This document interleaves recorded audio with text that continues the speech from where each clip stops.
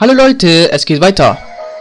Das ist genau passiert, als ich ein bisschen nach rechts gegangen bin. Danke, dass du gewartet hast, Roxas. Bitte komm hier rüber. Und wo ist das Grab? Hier liegt ihre Mutter Lena begraben. Oh, die ist Depri. Was? Ich dachte, ich erzähle dir endlich, warum sie wirklich ihre, Elter ihre Eltern verloren hat. Es ist bereits fünf Jahre her, seit Fanas Krankheit zum ersten Mal zuschlug. Ich hörte von einer, He von einer Heilmedizin. Von einer Wunderblume, von denen man sagt, dass sie jede Krankheit heilen kann. Es ging los, um nach dieser Blume... Er ging los, um nach dieser Blume zu suchen. Das kostete ihn sein Leben. Der Grabstein neben diesem ist der meines Sohnes Biron. Nach dem Unglück wurde seine Überreste in die Stadt gebracht. Ah, das ist echt traurig. Er erzählte Fana, dass er einfach verschwunden war. Aber stimmt nicht. Er hat sein Leben gelassen, um seine Tochter zu retten. Ich habe ihr das nie erzählt, wenn sie wüsste. Nein. Guckt euch mal unseren Charakter mal an. Hm. Nein! Fana, du solltest doch zu Hause bleiben. Warum bist du hierher gekommen? Warum? Warum, Großmutter? Hust, hust. Fana, sei vorsichtig. Die Musik passt echt jetzt nicht im Hintergrund. Tut mir wirklich leid, Roxas. Ich muss Fana nach Hause bringen. Bitte komm später wieder. Okay. Okay. Das ist schon etwas hart, wenn die Eltern so sterben. Das ist echt hart. Verdammt. Die Fana tut mir echt leid. Aber sie ist die Einzige, die uns liebt. Sie will echt, sie will das mit Roxas tun. Vielleicht auch nicht. Gucken wir das mal an. Ja, die sagen was. Eigentlich hatte ich vor, Fana niemand zu erzählen, was passiert ist. Nun hat sie es auf die falsche Weise erfahren. Das hat es jetzt schlimmer gemacht. Das arme Kind wirft sich den Tod ihrer Eltern vor. Tu mir einen Gefallen und versuche mir mit ihr zu reden. Natürlich. Natürlich. Ich, ich habe es nie gewusst. Meine Eltern haben ihr Leben gelassen, weil sie mir helfen wollten. Es ist meine Schuld. Wartet. Okay, die Scheißwerbung nervt nicht mehr. Es ist meine Schuld, dass meine Eltern zerstört wurde. Wenn ich doch nie... Nein, das darfst du nicht. Es ist nicht deine Schuld. Immer schön aufmuntern. So ist mein Charakter. Danke, Roxas. Du bist lieb. Vielleicht hilft es, wenn sie die Wahrheit von dir erfährt. Weißt du noch auf den Friedhof? Ja, ich habe gehört, dass man die Medizin tief im Wald finden kann. Mein Sohn Biron, Fanas Vater, ging dorthin, um danach zu suchen. Ihre Mutter Lena war sehr gegen diese Idee. Erst jetzt verstehe ich, dass sie recht hatte. Okay. Bald erfuhr ich, dass mein Sohn gestorben war. Er war von Waldmonstern angegriffen worden. Unsere Brille sieht ekelhaft, ekelhaft aus. Obwohl sie ihren Ehemann verloren hatte, war Lena eine starke Frau. Sie zog Fana sehr gut auf und arbeitete bis spät in die Nacht für sie. Schließlich wurde es zu viel für sie und sie verstarb bald. Es ist meine Schuld, dass Fana ganz allein ist. Vielleicht ist es genug, aber solange ich am Leben bin, schwöre ich für immer an Fanas Seite zu bleiben. Ich möchte nur Fana nicht nur auch, noch, von, auch noch verlieren. Hör mal, lass dir bloß nicht einfallen, in den Wald zu gehen, um diese Blume wiederzufinden. Der Waldhüter könnte etwas darüber wissen. Aber ich werde es nicht ertragen, dich auch zu verlieren, Roxas. Was Fan angeht, es gibt nichts, was ich noch tun könnte. Ähm, okay. War das jetzt eine Aufforderung, jetzt in die Wald zu gehen, oder was jetzt? Eine Waldblume ist, aber keiner weiß, wo man diese Blume finden kann. Vielleicht weiß der Waldhüter etwas darüber. Der Waldhüter? Wer ist der Waldhüter? Äh, der Waldhüter? Warte, der Waldhüter? Ich glaube, ich weiß, wer das ist. Hm. Okay. Neue Sidequest. Aber scheiß Werbung. Warum muss das jedes Mal kommen, wenn ich gerade Let's Plays mache? Fick dich, Werbung. Warte, der Waldhüter war dort dieser komische...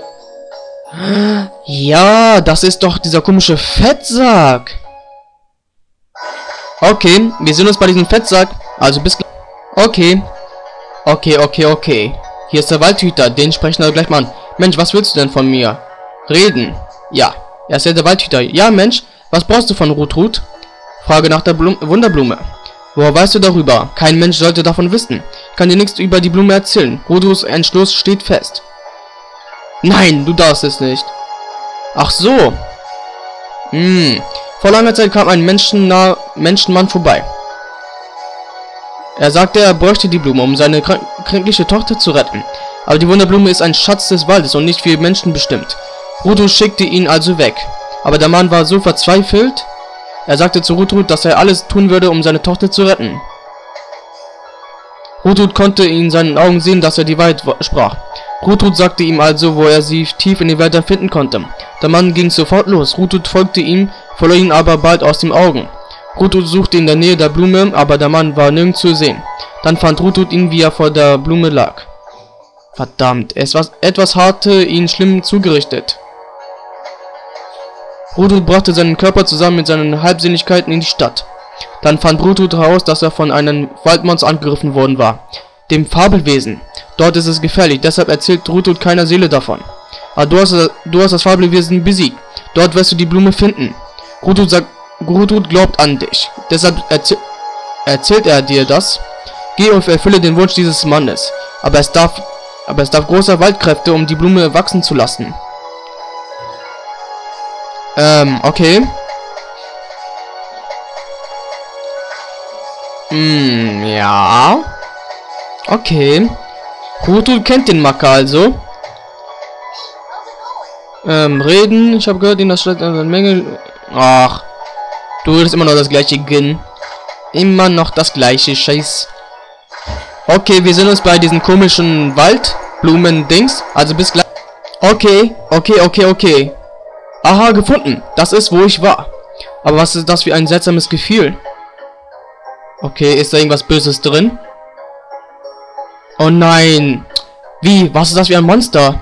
Wie kann das sein? Wir haben es bereits busy gerichtet. Es ist, ist das neu? Roxas, pass auf. Oh, fick dich. Mutiertes Fabelwesen. Jetzt nochmal. Fick dich doch, du scheiß Bastard von Monster. Oh scheiße, ich habe ein Zeitlimit. Waffe, Waffe, Waffe, Waffe, Waffe, Waffe. Schwert. Schwert, Schwert, Schwert. Nix, dieses Schwert. Und so. Jetzt muss ich auch die Charaktere von den Monster besiegen. Ach, nicht die... Oh, fick dich ins Knie, du... Boah, fick dich. Monster. Boss. Okay, das ist schon gut genug. Okay, jetzt kann ich ihn töten. So. Verdammt, das macht... So. So, so, so, so, so. Das macht viel, viel mehr Schaden. Super. So. So. Okay, geschafft. Das ging mal schnell. Und ich, habe, ich hatte noch genügend Zeit. Ähm. Neuer Re Was? Kein Rekord? Willst mich ja verarschen oder was? Du hast es geschafft. Hm, ich habe eine Idee. Roxe, sehen wir uns einmal seine Höhle an. Okay, das wäre auch meine Idee. Und? Ist da was? Hm, genauso wie ich dachte. Nicht eine Blume in Sicht. Die Wunderblume, nach der Fanas Vater gesucht hat, muss hier gewesen sein. Vielleicht hat das Monster sie zerstört. Verdammt! Oh, was werden wir tun, Roxas? Wie? Was ist das? Es ist ein Brief von Fanas Vater. Okay. Er hat es soweit geschafft und die Wunderblume gefunden. Dann wurde er von Monstern angegriffen und hat diese Nachricht geschrieben. Schau mal, er hat ein Blumen Blütenblatt von der Blume in den Zettel aufgebahrt. Überlass das mir. Mhm. Oh, wir haben die Blume. Das ist die Wunderblume, nach der Herr Biron gesucht hat. Sie ist, sie ist so schön. Jetzt können wir Fana damit retten. Super. Das ist doch meine Idee. Damn, meine Blume. Das ist super, super, super. Ich kann jetzt Fana endlich helfen. Mit ihrer scheiß Krankheit, die sie hat. Verdammt, und warum kann das mutierte Fabelwesen eigentlich wieder? Egal. Ich habe es getötet. Und so richtig getötet. Es gibt kein Zurück mehr für diesen Bastard. Okay. Hm. Was soll ich jetzt wieder zu Rutut gehen? Glaub schon. Oder? Warte, wie war der Weg jetzt nochmal? Keine Ahnung mehr, verdammt. Ich glaube hier. Okay, wir sind uns bei Rutrut. Okay, ich bin bei Rutrut. Wir reden mal an. Reden. Ähm, okay, da zeige ich Ihnen mal die Blume. Zeigen. Blumen. Attribute. Wo ist jetzt die verdammte Blume? Wo ist die denn? Wo ist die denn? Wo ist denn die Blume? Oh, komm schon. Das ist das mächtige... Das mächtiges... Was? Okay. Wir sehen uns in der Stadt wieder. Also bis gleich. Hallo Leute, wie ihr seht, ich bin bei Kamui, um das Blu die Blume zu bedeuten. Hoffnungslöse, sie bedeutet gute Neuigkeiten. Oh, was für eine hübsche... Ähm, ja... Ah, nein. Ja, ich weiß. Okay. Jetzt gehen wir da mit rein und zeigen ihr die Blume. Also, wenn das nicht Roxas ist.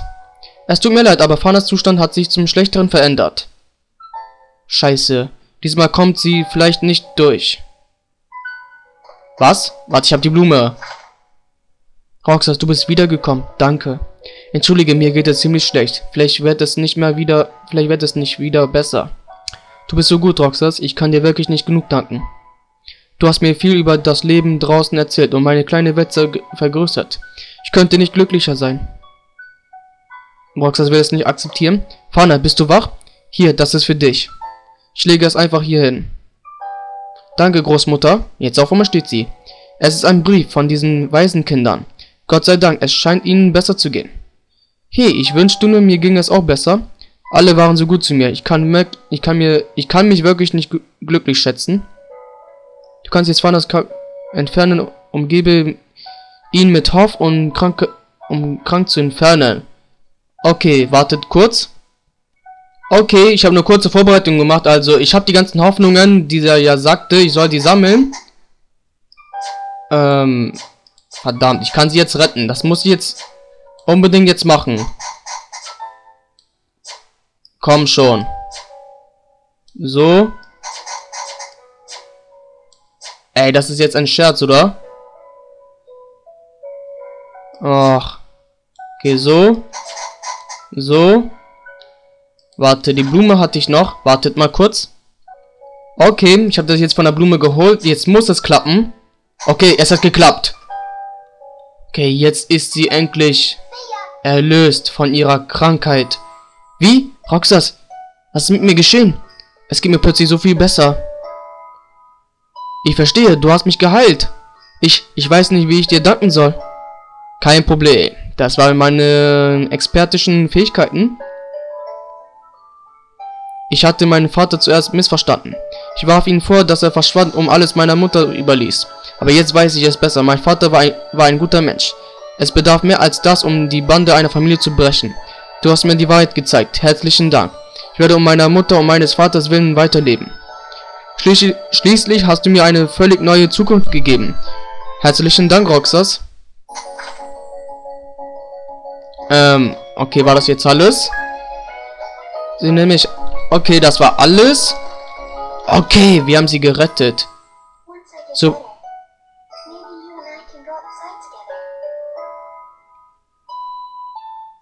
Okay.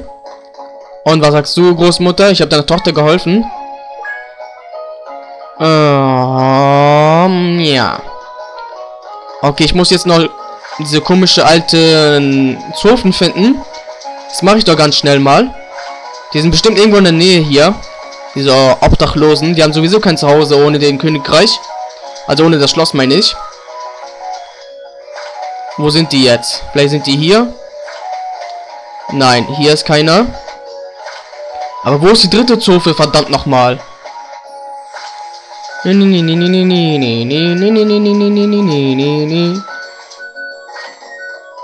Ähm. Ach so. Warte, ist sie... Ist sie vielleicht da drinnen? Kann es sein? Reden. Ähm, anscheinend wohl nicht gehe mal schnell raus und dann bin ich meinen Part. Die dritte so versuche ich dann im nächsten Part dann. Oder schaffe ich das noch? Bis zum Königreich. Vielleicht ist sie ja da, in der Nähe von denen. Aber eigentlich hat mir Fahner geholfen. Das ist doch mal klasse. Nee, nee, nee, nee, nee. Schneller, schneller, schneller. Hyperspeed. Okay. Und... Ach, ich muss Tschüss.